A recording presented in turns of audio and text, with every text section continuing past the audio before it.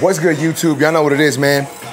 Back with another video. Your boy just got a package in from Babyliss. Check it out. I ain't gonna lie, as y'all can see, I already opened it. But we finna get into this unboxing, see what they sent your boy. But before we jump into this video, if you're new to the channel, make sure to like this video, comment, share, subscribe, all that good stuff, you know what I'm saying? But without further ado, let's jump into this unboxing. Let's get it.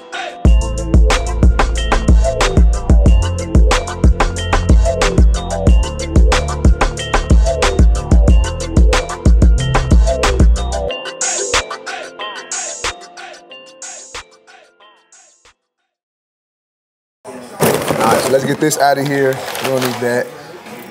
All right, so check it out. I don't know if y'all can see in the box, but we got some stuff in here, man. Let's start off with this right here. As you can see, your boy got the new red Low Pro FX ones. Y'all know I already got the original F, uh, Low Pro FX ones right here, but now we got the red ones. You know what I'm saying? Uh, I'm assuming it's gonna be the same thing as the uh, original ones. Only difference is the color, but Let's go ahead and read some of the stuff on the back. That way we can see if it's actually the same thing or if it's different.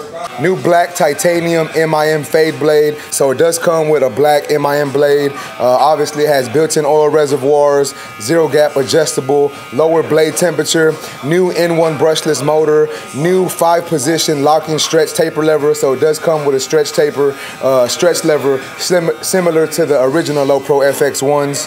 An interchangeable lithium battery. So just looking at the back and what I've read so far, it's basically gonna be the same clipper, just a different color. But with that being said, let's go ahead and open this up so we can see how this clipper looks. All right, check it out. We got the clipper right here. Woo! Look at that thing, man. That thing looks nice. This. It's always so hard to get these clippers out of the box when they package them, but we got it. All right, check it out. Here is, mm, this thing looks nice. Y'all see that? The Low Pro FX1 we got the red paint on there, black MIM blade. Uh, as you can see, we got the click lever right here. The clicks feel a little different than the original Low Pro FX ones, but we'll talk about that here in a minute. Uh, on and off switch, and then right here is where the battery goes.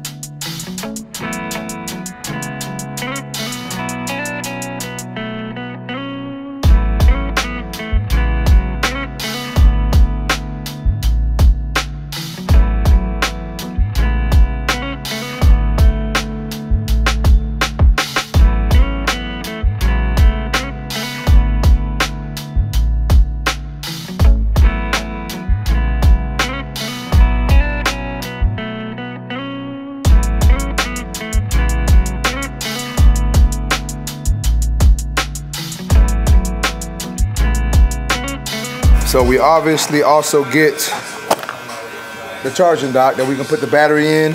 And then we also get the battery also, which once again, guys, you can interchange this one battery between all your FX1 units. So as y'all see, I have the new Low Pro FX1s. I'm gonna put the battery in here. You can see that thing's on. Take that out. And then if I wanted to use the same battery, I can use it in my low in my older low pros. So we just take it out of here, Put the same battery in here. Boom. Ready to go. So these batteries are interchangeable across all FX1 tools. So once again, same battery. As you can see, I took the battery out of here. I'm gonna go ahead and put it back in the red Low Pro FX1. As you can see, we can see how much charge we have. And then it works in this one also. So let's go ahead and take this part of the box out. That way we can see what else comes in the box. So we do get the Babyliss premium guards. Oh, are these the premium guards? Yeah, we get the low pro. We get the Babyliss premium guards in here. We got the 0.5 and the one. And then I'm assuming these are the bigger ones, 1.5 up to the six. We get the charging adapter with the charging cord. We also get some oil, a little screwdriver, a cleaning brush, and all that good stuff. That's basically all that comes in the box. Let's go ahead and get this out of the way so we can see what else they sent your boy. So they did also send me two new batteries. Once again, shout out Babyliss. I greatly appreciate y'all, man. Uh, but we got two new batteries also. Let's put that to the side. And then check it out. They also sent your boy the matching trimmer. Once again, it's gonna be the same exact trimmer as the Silver Low Pro FX1s. However, we got it in a red uh, color with a black MIM blade. So the original trimmer has a blue blade. Let me see if I can find it. Here it goes. So the original Low Pro has a blue blade, as y'all can see here. There we go. And then this one's gonna have a black blade. Uh, let's go ahead and open this up so we can see how it looks. So check it out. Here's the clipper, or I'm sorry, the trimmer. Here's the battery. Line up the arrows on front, push that bad boy in, as you can see. Man, I, I love the way this trimmer sounds. Sounds super quiet. This one does sound a little louder. This one sounds a little more quieter, but obviously that may be due to it being a brand new trimmer. But check it out, here is the Low Pro FX1 clipper and trimmer. If you are interested in the blade for the Low Pro FX1, it does come with, let's see if we get it to focus. All right, it does come with a black graphite blade. Graphite 2.0, as y'all can see here. So the silver, the silver one comes with a, a blue FX blade, similar to the gold FX blade, but this one does come with a graphite 2.0, which some people may like. Man, this thing ain't focusing. It's getting my face. All right, so this thing comes with the graphite 2.0. Some people may like this blade better. I like this blade a little better for balding. Uh, we're gonna see how it works though out the box and then I may need to zero gap this. That way we can work it the way your boy wants to work this trimmer. But then obviously, once again, here's the box. Y'all saw the battery was in the box, and then we also have the charging dock right here. I ain't even gonna take it out for y'all, but as y'all can see, we have the charging dock here, and then I'm assuming we have, well, let's go ahead and take this out so we can see. All right, so when we look in the box, we do get the USB charging cord. We get some stuff in this box. Let's see what comes in here. All right, so as you can see, we get an extra cam follower. We do get the charging brick, and then we get the screwdriver, oil, zero gap setter, all that good stuff.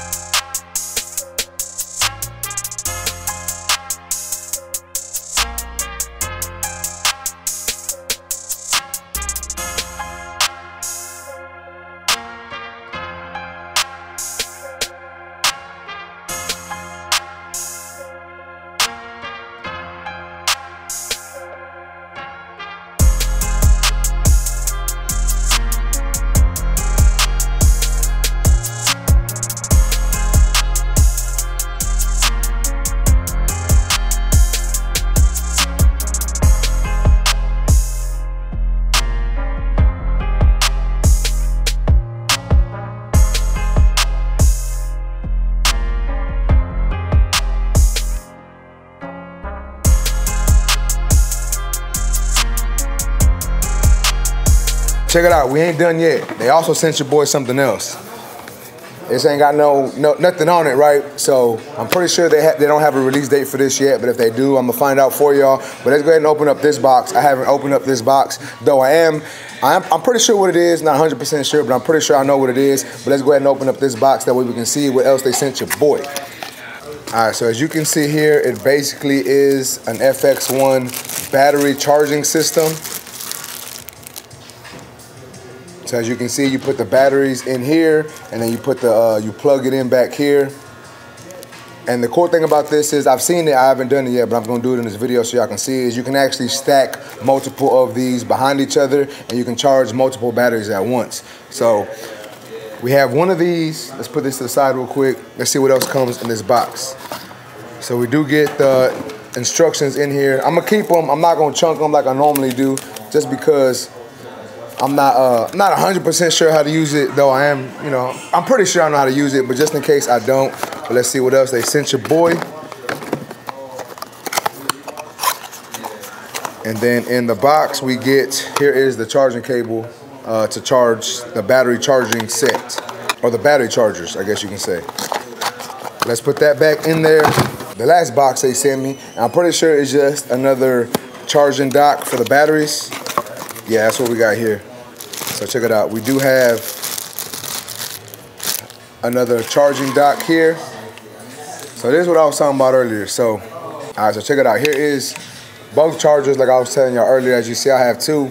But if you wanted to stack them like front to front, or if you wanted to put them in a row, that way you can charge more batteries with just one cord. What you do is, you, so we see we, we lift this up, we flip this down, and then we actually can push this in at the bottom right there. And then you see this port right here, and you see this port right here. You just line them up, push them in, and boom. All we gotta do is plug in this back one, and it's gonna charge four different batteries. As, you can see, we have four different slots for batteries, one, two, three, four. So we can charge four different batteries with, with this charger right here with just one plug, which I think is pretty dope. So once again, shout out to Babyliss for for doing this. You know what I'm saying? I think it's innovative. I think they really they're really trying to do something different with their tools, their batteries and all that. You know, I know a lot of people talk about how Babyliss only drops different colors of their clippers, but as you can see, man, they're they're doing something different. They got one battery that you can use within different clippers, and then they got these two separate chargers that you can plug in together and then plug in with one cord to charge off four batteries, man. So I think that's pretty dope. Y'all know what it is, man. You know your boy's gonna put these to work. Y'all know I'm gonna let y'all know what I think about these soon, man. So y'all stay tuned so y'all can hear my review on these tools right here.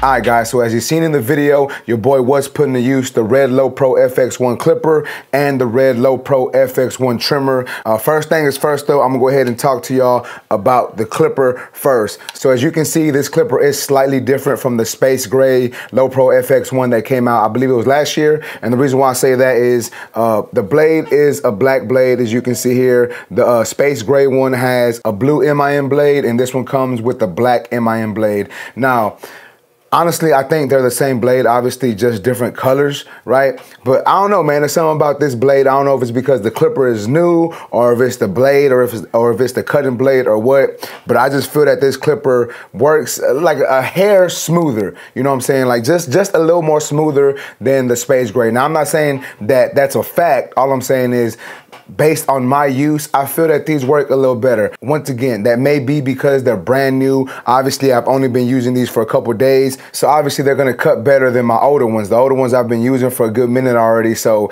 you know these are brand new, and you know everything brand new out the box works well. At least in my opinion, they do. So uh, that that may be the reason why these cut a little better. Now I do feel that the click lever. I should I should have brought the space gray ones home, but like I was saying, I feel that the click lever on these is a little different. Uh, I, I, can't exactly tell you what it is. It just feels slightly different, and it's not a bad thing. Obviously, you know, uh, I like this the the click lever on the Space Gray Low Pro FX ones, and I like the click lever on these. It feels good. I like the stretch on it. You know, originally I wasn't a fan of, of the stretch levers. You know, they kind of threw threw my whole fading system off. But once I kind of made some adjustments I'm enjoying the stretch levers, you know. So I, I, really like using the gold FX ones, the space gray low pro FX ones, and these because of the stretch lever. To me, I just feel that when you have that stretch lever on there, you can you can do a little more with a little less, meaning you don't really have to use all your guards when you're blending with this. And that's just, you know, the way I cut, that's just how it works for me with my system. But all in all, man, I think this is a super good tool, super ergonomic. As you can see, we do have the grooves back here. We have grooves on the side also. Just just to help you be a little more ergonomic with it, you know, depending on how you wanted to hold it.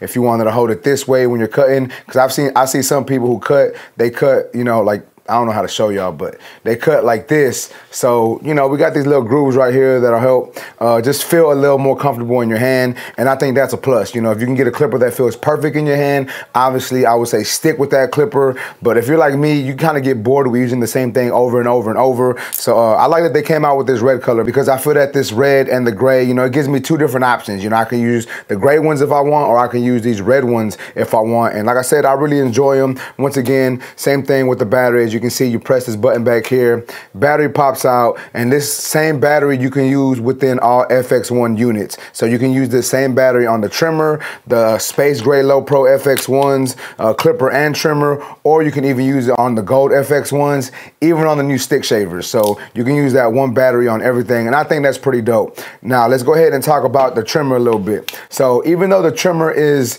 the same trimmer as the gray one, it does come with a different blade. So a different blade is gonna mean different performance. Now, me personally, I'm not the biggest fan of the Graphite 2.0 blades.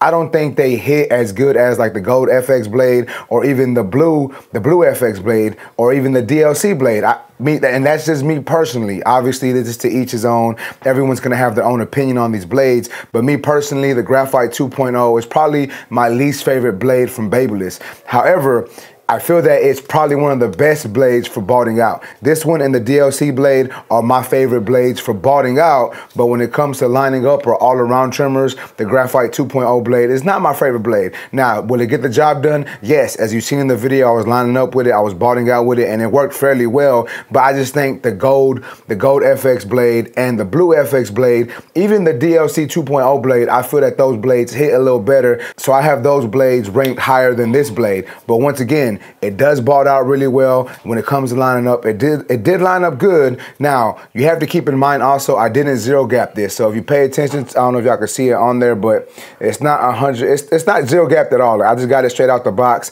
and it was uh, working pretty good. Uh, if I wanted it to hit a little better, I can obviously move the blade up and gap it a little closer, but I, did, I haven't done that yet. But if you're interested on how to zero gap this trimmer or any Babyliss trimmers, uh, I'll make sure to put the link in the description and the comment section so you can watch my video on how to zero gap Babyliss trimmers. But like I was saying, if you if I did zero gap this, it may hit a little better. However, I just use this straight out the box. And all in all, I would say it's still a good tool. Once again, we do have the battery that pops out in the back. Uh, same battery to use across all FX1 units. And I'm liking the red on it, you know what I'm saying? The red on it looks nice. Blade looks good. I, I, like the look of the black blade on this red trimmer. I just, like I said, I, am not the biggest fan of the performance of this blade. But all in all, I would still say that this a good uh, a good trimmer. Uh, obviously, you can always change the blade. It's real easy to change the blade. You just take these screws off, take the blade off, and put another blade. So I may do that. I may get a DLC 2.0 blade and put it on here just because I like that one a little better. But I still like this blade, and I'm gonna continue to use it and keep this trimmer on my station because you know your boy is a little extra, and I do like using newer tools. So I'm probably gonna keep both the clipper and the trimmer on my station and keep running them for a while. But all in all, I would say the Red Low Pro FX ones I would say they're good tools. You know, I'm not saying that you must cop them, but if you're looking for new tools and you like the Low Pro FX clippers, like the original ones, the black ones, uh, you're looking for some something newer, I would say this one or the Space Gray. You really can't lose with either one of those clippers or trimmers. You know, I think it just, like I said earlier, boils down to preference. Do you like the red? Do you like the gray? Do you like the graphite 2.0?